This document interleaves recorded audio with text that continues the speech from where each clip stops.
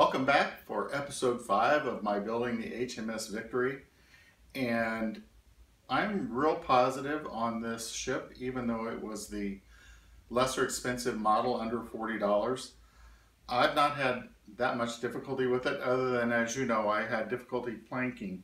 But that's an art that is learned, so I think if I built this again, I would approach the planking from a different perspective. Other than the planking, this is fit together well. I'm, I'm very happy with the, uh, the results so far. So let me give you a quick look at what I've completed since the last time we were together. Then I'll go back to the details of putting different parts together and any of the problems that I ran across and how I solved them. So let me give you a brief tour of what the ship looks like up close.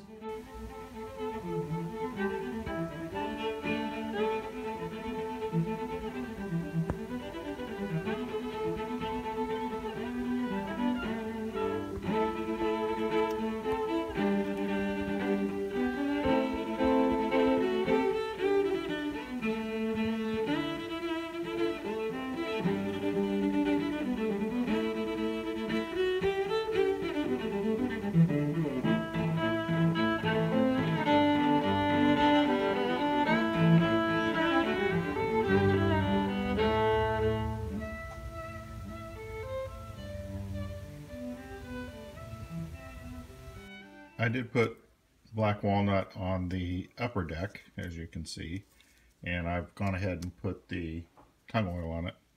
I'm going to start putting the parts on, and unless there is a discrepancy, I'll just do it because it's uh, either letters or numbers. And the first one that has a little twist to it is part C, and it doesn't state it, you can see it, but there's really two parts. So when you go to your part sheet, look for C1 and C2, and those get assembled together, and then they mount. One area that I caused myself a minor problem was when I flipped this page over, I was kind of working off of this. You need to pay attention to the top. There's the segment on um, C1 and 2 if I would have looked at that instead of just looked down here for part C, I would have realized sooner. Where I messed up and then had to take a piece off is 42, and there's a frame that goes under it. And what I had done is place the grate in, and it recessed down, and really it had the frame. So I've corrected it, and it looks okay. So it raises and then there's little holes in that frame. So just make sure you check out these pre-assembled sections before you really start putting the ship together. Something very subtle and very important on this part C, these combined parts, there's a small hole right there in the tip that needs to face up. And this piece is slanted that direction it has to be in that direction because it's going to mount up to this piece and it needs to slant forward and then this will fit on there just right when all is said and done. Another thing to notice on part lowercase d is one end is angled and squared off and the other end has kind of a round rounded edge to it right there. Here it is. Maybe you can see it better on the green. That end is rounded. This is squared with an angle cut into it. You can see the angle there. And the last thing that will give you an idea of where it goes is there's a cannon port right there. See that circular cutout? There's a cannon barrel that goes through that. And that is the end that goes towards the front of the ship. I was thinking that putting these parts that go on the front of the top deck would be easier to do once I had the full gun ports in place. So note to self, put the deck in place first. I glued these on first and then I had trouble squeezing this in. And right now it's not even glued. Now it's, it's very tight. It's not going to go anywhere. And I'll be able to glue it, you know, slightly, different places. But I should have put this in place first, then put this on and it does, it lines up with this. That makes all the gun ports just in the right place. And then I did a little bend right here to match up to the front of that deck. It has a slight curve to it. Now I can put the pieces on the front and be confident they're in the right position.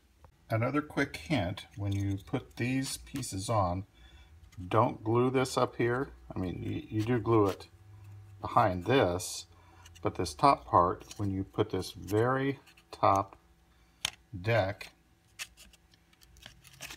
in place, you're going to want to be able to squeeze that in so that it's underneath this. And see, I can squeeze that in slightly. The important part is back here. where You'll want to be able to squeeze these in so they're underneath this. I obviously painted this front piece and I mounted it flush with this top edge. So there actually is a little gap on the floor which that's fine with me. And this piece after struggling so much there are hints visual but I didn't notice them. That little curved piece on the back kind of matches a little curved piece on this top rail. So I guess that was a hint I should have paid attention to. There's that one in place. And at first I mounted this flush with the bottom of this uh, rail, these rail posts. But in reality, I had to take it apart. I put the rail posts on first and then it rests on the top and you can see it catches just the top edge of that and it also rests on the top of this piece there as well as that. Here are these two anchor support arms in place and I did rest them slightly on top of this. I don't know that I needed to. I could have backed them up just a little bit. You can see the paintwork that I did on this piece. I've also put into place this grate and it I did a little bit of extra sanding to fit the nose of the ship a little bit better. And then I put one little drop of super glue on the tip of that and centered it on that piece. I'm not putting this piece in place yet because I'm not sure exactly where it'll go. This is not the size of uh, rod that will go in there, but I think it guides the angle. So I'm just going to wait a little bit and research this a little more before I put this piece in. Another challenge on this type model is these windows for the cannons, the cannon ports, have a very small frame and that also has a door that comes with it, and they are incredibly fragile. They come on panel number seven. I've got the top row out. Basically, the best thing you can do is put in a brand new blade, and these come in incredibly helpful.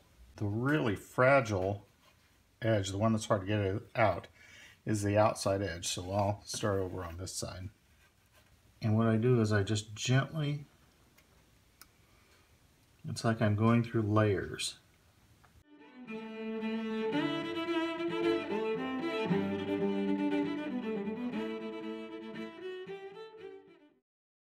Put in a brand new blade, find the center line that divides each one of these and there's a tab right in the center of it. And once you find that, Hold both ends of it and rock the blade forward. And it pops it off pretty successfully.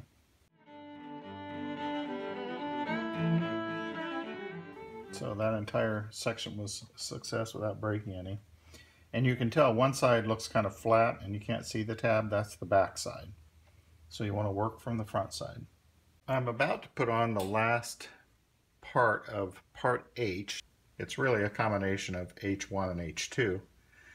And it makes this railing right here. The instructions have you assemble this before putting it on. I went ahead and put this, the main beam on first because there's a hole on each end that it goes into. And I didn't think I could get these to the right height. So try either way that you want. It is pretty tedious work. That's why I'm not showing the entire thing. I'm just showing me putting on the last piece.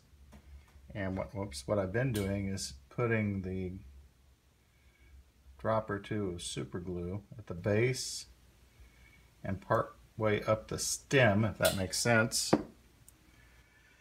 And then grabbing with a pair of tweezers. This is one of those pieces that it's very important you sand off that nub and the nub part that I sanded off is what I'm uh, putting up against this little rail. And I kind of set it down and then slide it into place as best I can. I've come to the place where I'm going to try and put these things on the back of the ship, the decorative panels. And there's a part number 52, it's pretty small. And I've gone ahead and stained them, and they actually match this little wingtip there. So these will glue right there, and I think it's just to give additional support.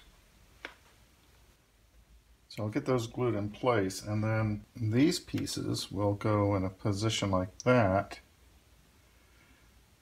I don't know if they're they'll be able to bend. I don't think, no. I'm not sure if you'll be able to see on camera, but this back piece that came with the ship has a little bit of a bow to it. It's very subtle, and this up here kind of looks like it does too.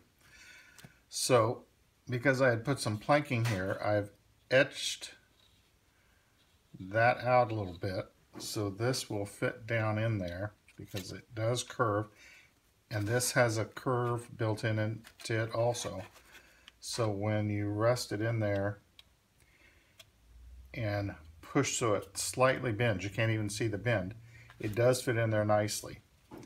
Up here, I need to sand off. I'm off just a little bit because I want that to also match this piece, which has a very similar curve or the same curve as that piece. So let me get my sander down and, and get rid of those little, just slight amount of overlap on some of those pieces.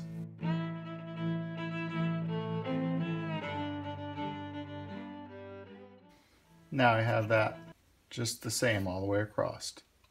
You probably saw me using the back side of this sander. That comes in very handy. It's not designed that way. And this actual piece of sandpaper was fine grit, plus it's almost completely worn out. So it was just barely taking anything off. Well, here I have it in place, and actually this side went to the interior and the back went over the top. So from the back, there's no gap, and actually, you really can't see one here either. So I'm pretty happy with that. Um, this did match up properly with that piece that I put in. And then I had to gently push this down so it has a little bit of a curvature to it, but be very careful because it's very fragile. That's it for episode 5 but I want to make a special announcement in episode 6. So stay tuned for that. It's some exciting news for me. I hope you'll be just about as excited as I am. So look for that new special announcement in the next episode. As always, thanks for watching.